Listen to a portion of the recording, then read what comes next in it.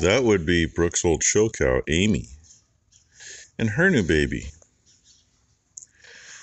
I kind of wondered when I walked by and I couldn't see anything, but she's just laying there chewing her cud.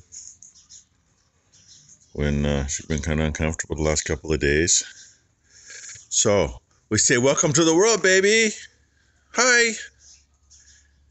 And that one was kind of looking over here like, I got a friend. Just trying to get up. This is like the third attempt because I wasn't quick enough with the camera because I had to get up on the feeder to see. I just, you know, had that feeling this morning. If Brooke would uh, slow down and check on her way out to work, she would have known that she had a calf. I'm sure Tylen will spoil it and let her know, or Becky will spoil it and let her know. Otherwise, she ought to just wait till she gets home tonight to find out. But I'm going to go uh, sneak her over. Well, sneak Amy and her calf, since I don't know what it is yet, over where Lena is, where it's cleaner, and get her marked on the board. When you can't find places to put stuff, there's other spots that box with the refrigerant bottle will fit. It'll fit in the right front corner with the oxyacetylene bottles. That's about it. Or it'll fit in the second one back on the other side. But that's where the corded power tools are. And I tried to lower the shelf so I could move the power tools up, put that down. Yeah, that still won't fit with the box that goes with it. That box slides right in there just perfect. That tank's an inch too big to fit. so, yeah, the box goes up here with the gauges and the, oh, there's cans, uh, sealant, coolant, and oil and tools and thermometers, all that stuff to work on AC's system is all in that box. And that's about the best place to put it since I got nothing else up there. See, nothing. And yeah, that's the engine oil run. The upside down one's empty.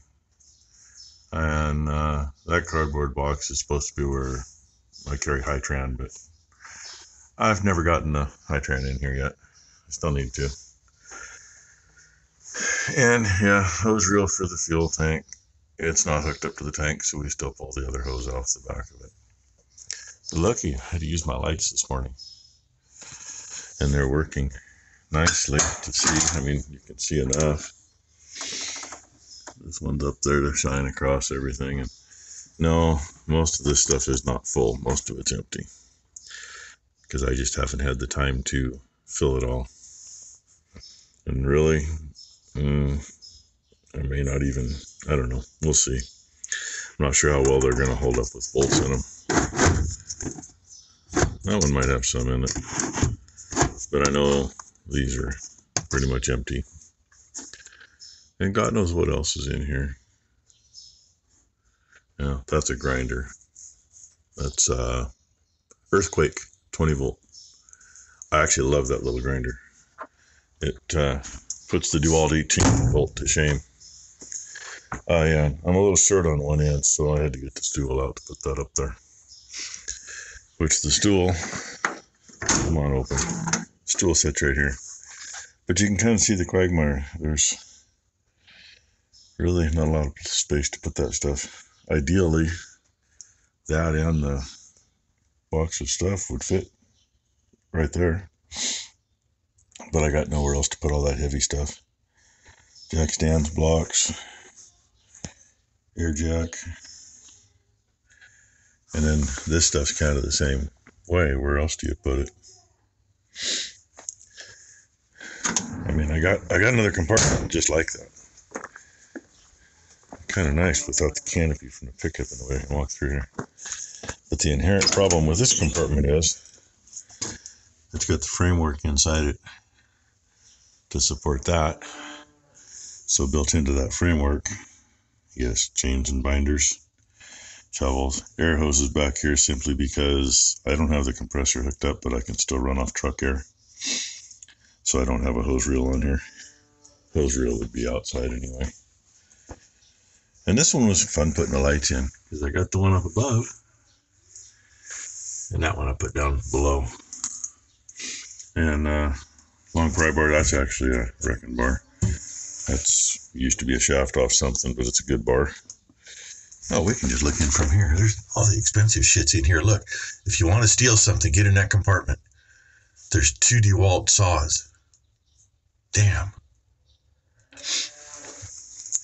Yeah. If you want to steal something, if you get past the dogs the first time, by the time you're trying to break these doors open, I'm pretty sure they'll find you. And this is where I was going to put that AC stuff, but it's not big enough for both. And I had this shelf up higher because the cooler was in here. Cooler. And uh, with the shelf right there, you can barely open the door to the cooler. And unfortunately, with it right there, four inch grinder will fit. The drill with the handle off, it'll fit through this little hole because this is kind of in the way. That big grinder ain't gonna fit through there. So they may find someplace else. I actually had plans. I'm making too long a video here.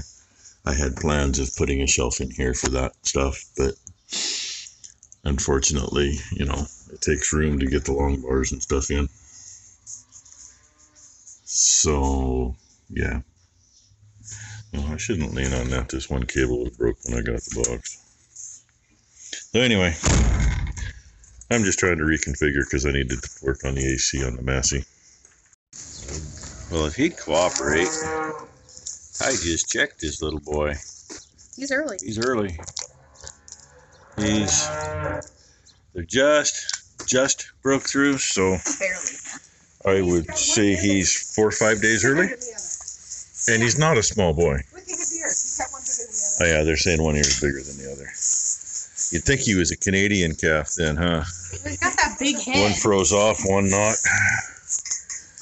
Oh well. I gotta go to the store. Anyway, now we know. He's early. That's okay. He's big enough. Good job. Give him give him a week. You won't know he was early. He's got a little tick on his back too. Yeah, I'll give you a quick view from here. It's uh, way too late in the day and we ain't going yet, but calf this morning slowed things down, among a few other things. She got greasing done and I was going to fuel, but I've been on the phone with the gal from USDA getting the crop report taken care of, so she just started fueling this one. Then I'll get mine done. And hey, I found out I, I could be famous a couple people at the USDA office that have seen my videos. So, and the gal says she's going to watch some. She says she likes the area, and I told her if you want to see some views, I get a few. So, hey, any of y'all from USDA that are watching, thank you. I appreciate it. You see how dysfunctional we really are. I only show the good stuff. I don't show the bad stuff. No, actually, I just show everything as it happens because it's all real. I ain't gonna screw around with staging everything. And hopefully we're gonna get the other oh there's between 10 and 15 acres up there that's not done over the first time. Hopefully we can get that done and get the second time over before it rains. And maybe the rain will all miss us, we'll see. But anyway, I just thought I'd say thank you to the USDA people. I always enjoy talking to them, even though I avoid their phone calls because it's like, oh God, I ain't got time for that right now. You know? My apologies on that part, but I do enjoy talking to everybody that I've ever talked to from there. Yeah, the long runs are going to get short pretty soon. Actually, it's already shorter on that side. And I was worried I didn't quite get parallel to that over there, but and I think it was all optical illusion the way the hill works. The humpy bumpies I'm talking about, let me just watch the front of the tractor. But when I hit them with the disc crossing them, see spots where there's like a line of grass. That's where the humpy bumpies are. The disc is peeling it like that. So there'll be a stripe of big clods sticking up and a stripe of grass next to it. She's knocking them out pretty good, so. And she's happier this morning. I spent time getting her AC working. It was, I don't know how low it was. I don't have a scale, but and there wasn't much left in the bottle. I'm sure I put a pound in anyway. About all that was left in the bottle, so she's happier. And, you know, it's just looking iffy out. If it rains, I know we're done for the day because I won't be able to pull this hill at all once it gets wet. Oh well. Still be a day. Oh, it'd be raining right over there. And yeah, I think there's to be more on my windshield. But, hey, we're still moving.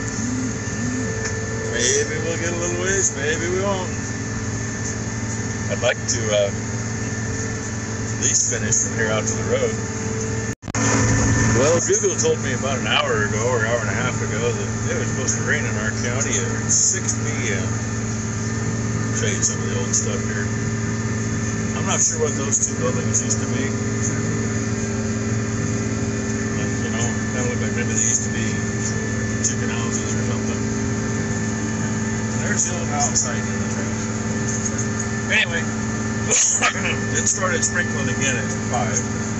About the tenth time it sprinkled, but it got to where my whole hood was wet. The front's still wet. Um, we got sticky, and now we're past sticky. And she's only got a narrow strip left over there, we're going to call her quits for the night here in a minute or two. I'm just running around kicking some of these extra grassy spots while I can still move.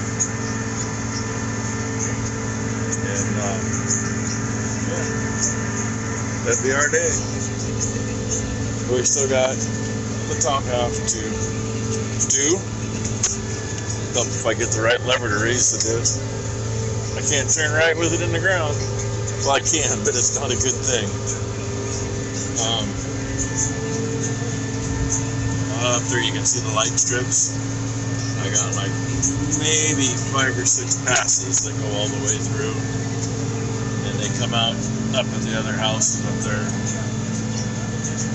Other than that, we got above there to do yet too. I wanted to let that dry up above, right? Yeah. So I'm gonna pick a spot right in here somewhere. Get far enough ahead that she's got room to park behind, so neither one of us are underneath the tree directly.